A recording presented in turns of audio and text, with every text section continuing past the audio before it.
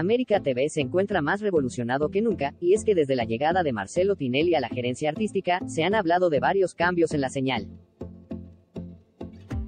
Esta vez al canal le tocó sufrir la pérdida de una de sus figuras más importantes, y es que Ángel de Brito abandonará el AM y su lugar en el Bailando 2023 por un par de días.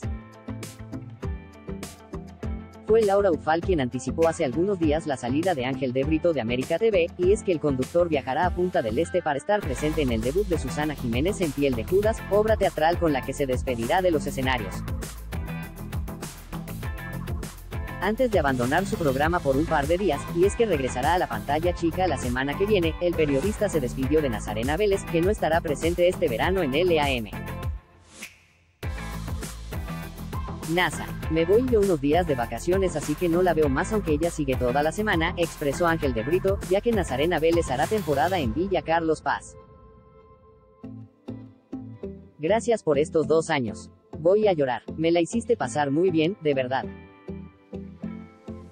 Te quiero mucho, fue una gran experiencia, agregó la panelista.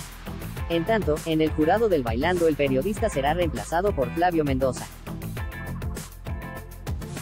Carmen Barbeiri apuntó contra Ángel de Brito tras escuchar las declaraciones de Sofía Aldrey. Carmen Barbeiri fijó la mirada en la cámara y apuntó contra Ángel de Brito, quien la acusó de hacer su programa en base a lo que levanta de LM. Nosotros no hacemos un programa a base de otro programa, pero sí contestamos y hacemos actualidad. Estaban hablando de la vida de mi hijo. Yo no soy protagonista de la historia, comenzó la conductora. Luego, Carmen Barbeiri apuntó contra las angelitas, y me quedé mal porque no dije todo lo que tenía que hablar, porque para cada una tengo. Para cada santo tengo una estampita.